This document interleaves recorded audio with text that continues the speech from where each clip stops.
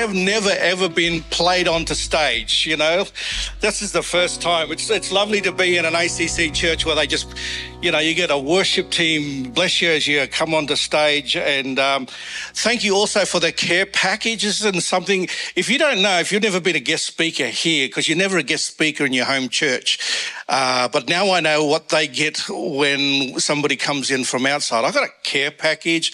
I got a little list of instructions, things to do, and where to go.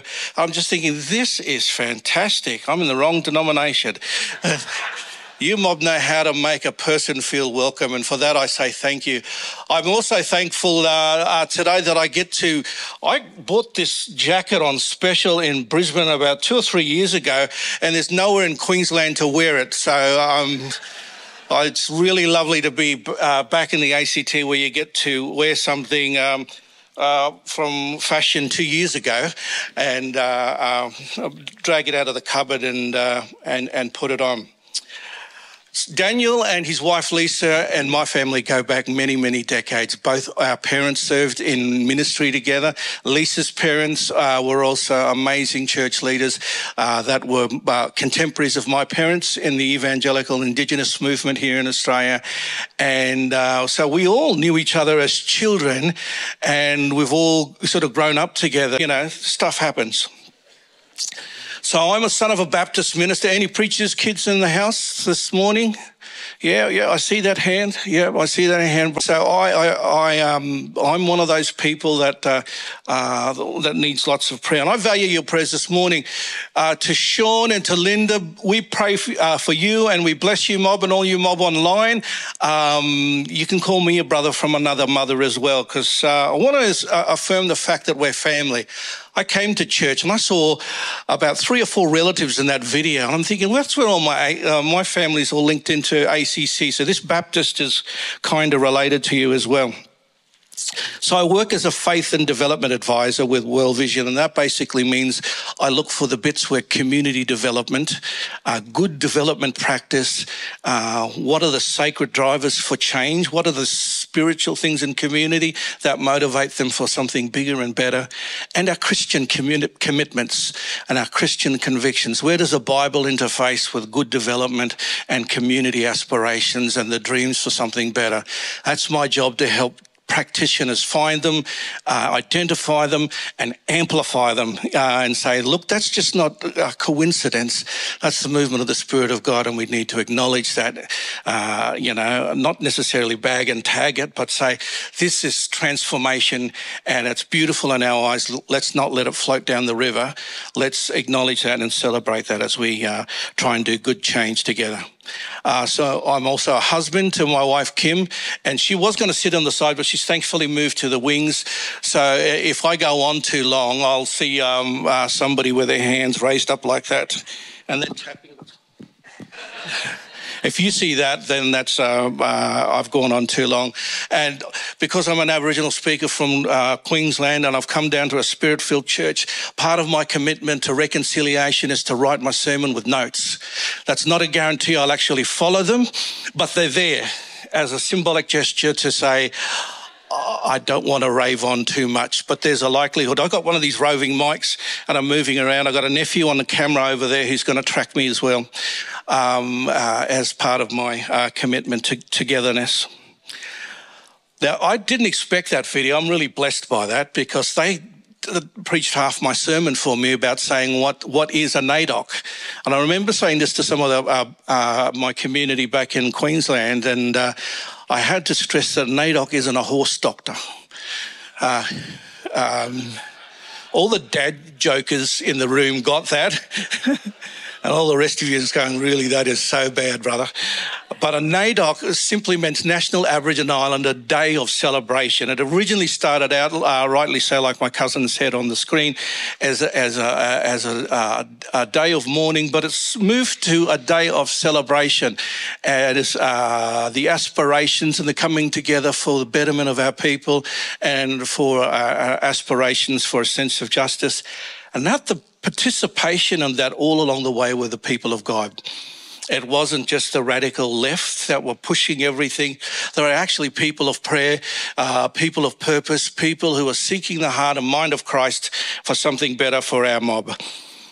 Um, and so this year's theme is get up, stand up, show up. And it sounds like a um, it, brother. Is there, is there a, a, poster of that little thing uh, to go up the back of that?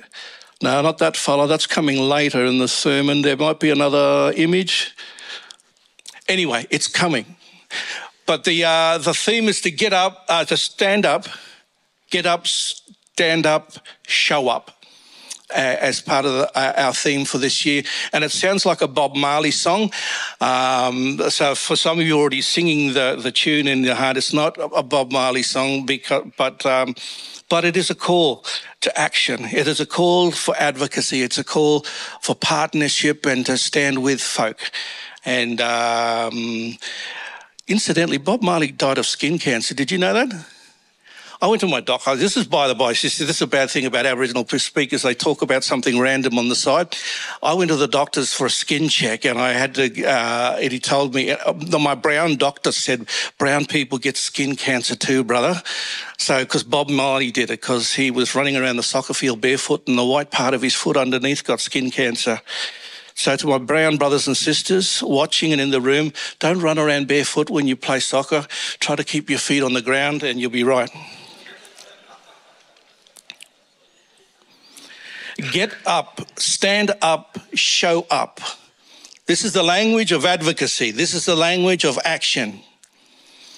And I believe, as followers of Jesus Christ, doesn't matter what denomination, what culture, what country you come from, where you call home, I believe we are called to get up, to stand up, and to show up as well.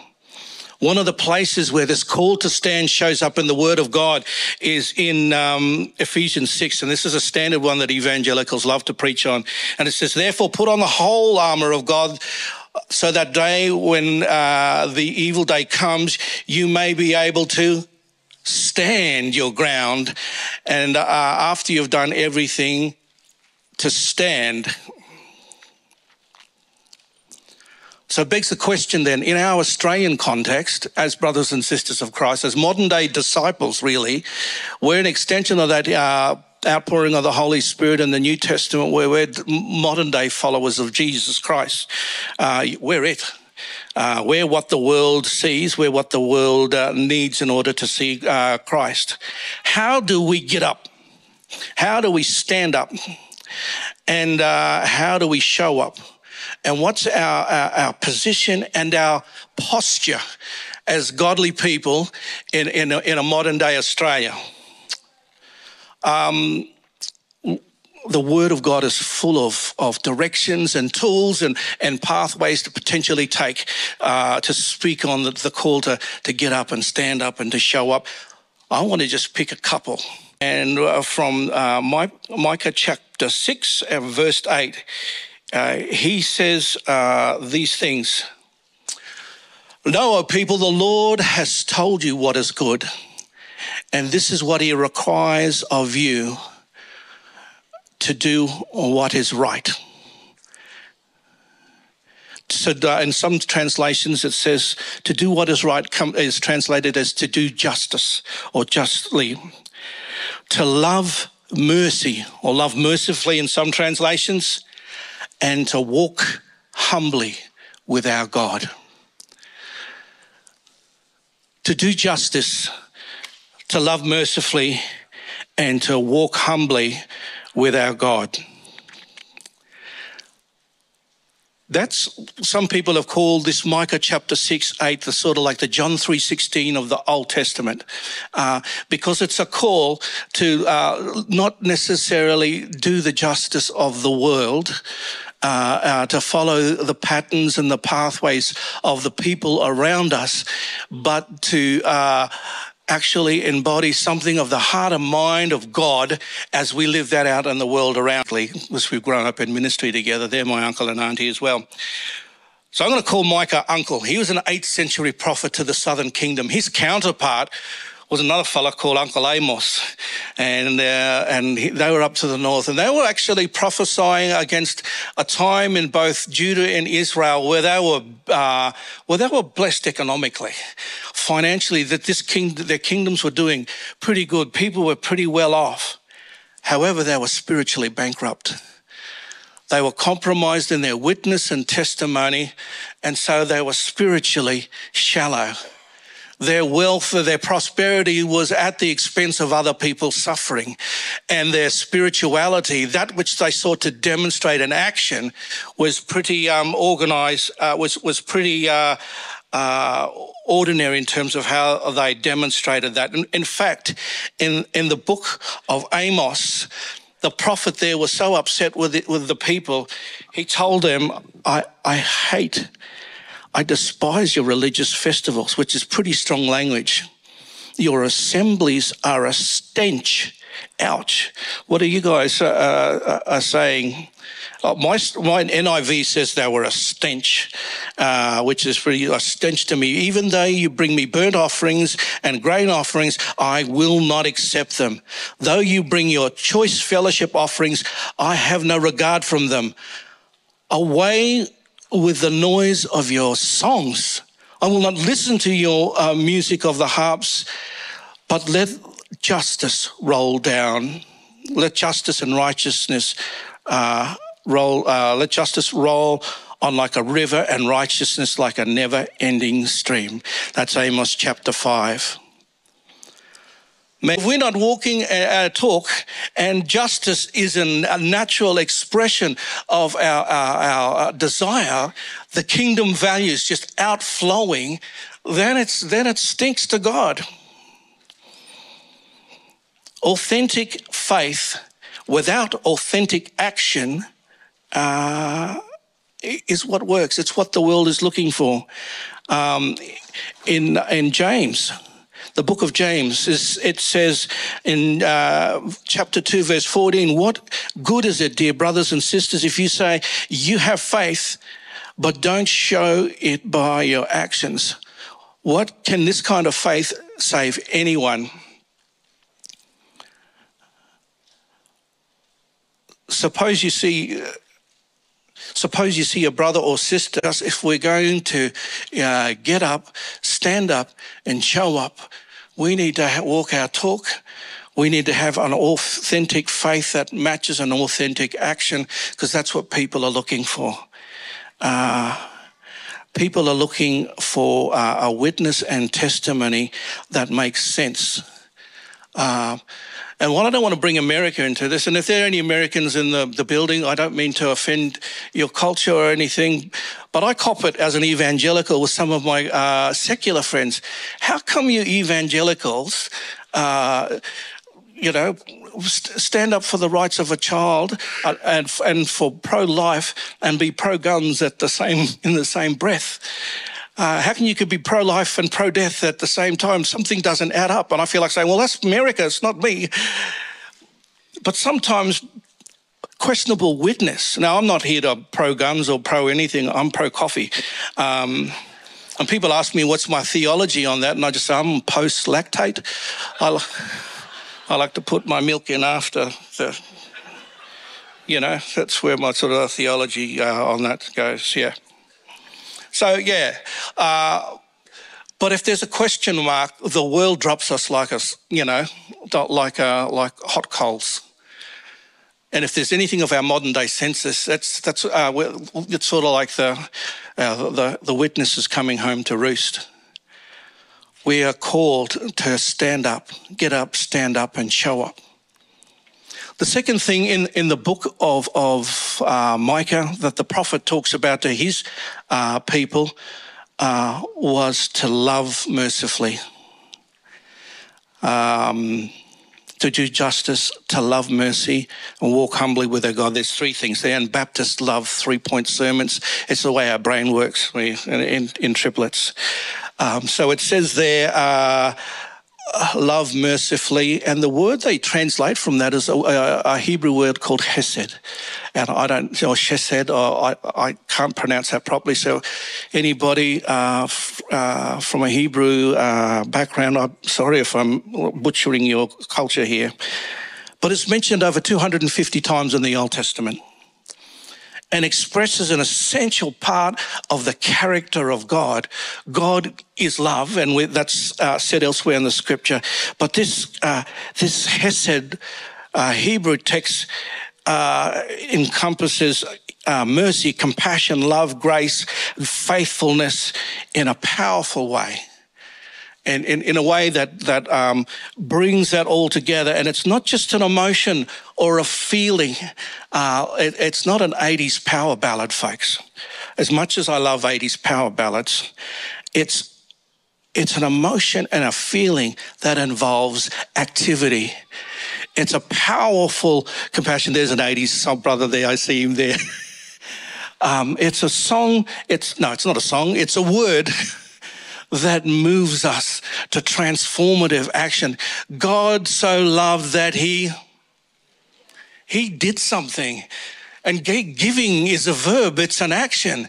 It's a love that that uh, that transforms your desire, to, not as if something uh, to uh, to um, uh, think of as our own, own something we own, something to conquer, but something to cherish and to acknowledge that God has walked through this place before us. This creation uh, that we are in now is sacred because it has the fingerprints of God all over it if you have the eyes to see. And we are called as, as traditional owners of country to walk mindfully and uh, conscious that uh, people have gone before. There have been carers and custodians of space, and now it's on us to care and be custodians of the creation which God gives us to look after. And that is a humility. That's nothing to feel, oh, this is cool. I like this place.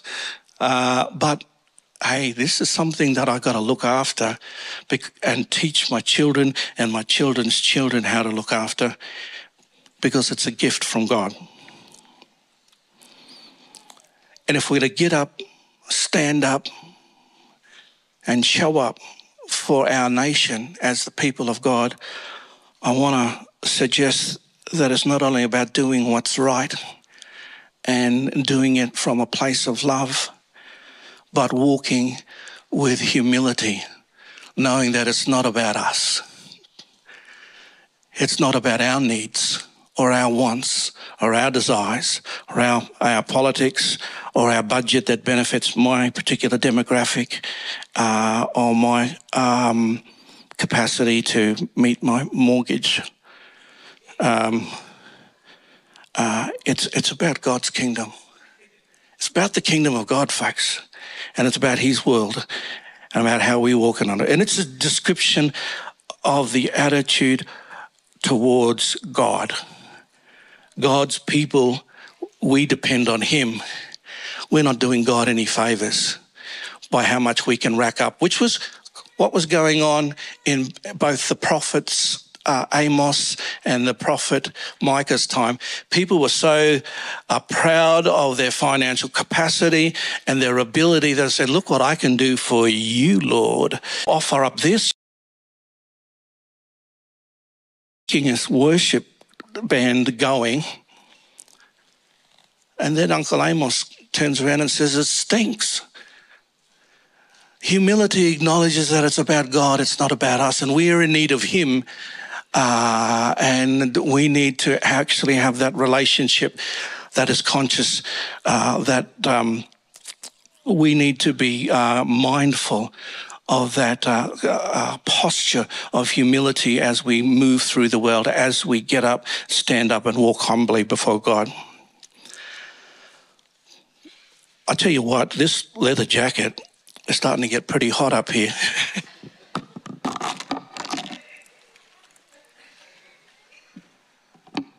I usually don't strip off in, uh, when I preach, so um, you Canberrans will get a treat.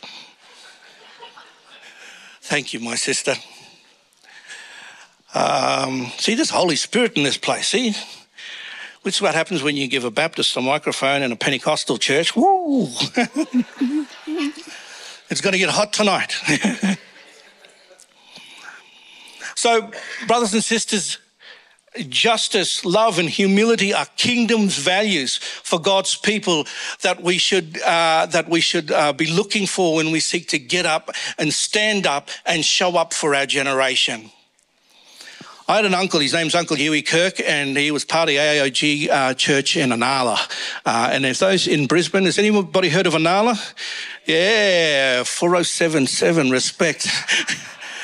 Inala's like the Bronx of Brisbane, nothing like Charnwood at all. Um, and, um, and my uncle used to have this saying, and uh, you, don't, you, you don't tell a black fellow, you show him. And it makes sense to me. I don't know if that makes sense to you, uh, but in discipleship, is a bit like that. It's not just about telling somebody, it's about showing them. It's not just about proclaiming what the Word of God says, but it's about demonstrating how to walk a life in Christ through your actions. Uh, when actions uh, link up to uh, uh what you say, things make sense. And that's how my simple brain works. So there's part of me when I was preparing this, do justly, love mercy, and walk humbly with God. You know, if you ever ask yourself questions in the middle of, you know, anything, they reckon it's the first sign of madness. And if you answer yourself, it's either God or you're mad. So the verse in action. I'm glad you asked, brothers and sisters, because here's a painting we prepared earlier. Well, no, I didn't. Um, uh, uh, the Yuendumu Baptist Church did for my mother and father as, as uh, missionaries. Now, this is chapter 3, verse uh, 28. Now, um, in English, it says, uh, Galatians 3.28 says, Therefore there's neither Jew nor Greek, neither slave nor free, neither male or, and female, for you are all one in Christ. And what that looks like in Warlpiri icono- iconograph is that painting that we just showed earlier, brother. Bling.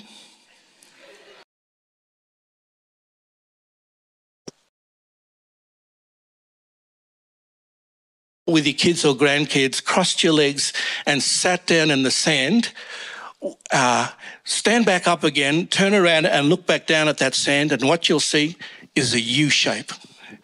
So, anytime you're in Alice Springs or something and you see uh, traditional art that has a U shape in it, that, that depicts somebody.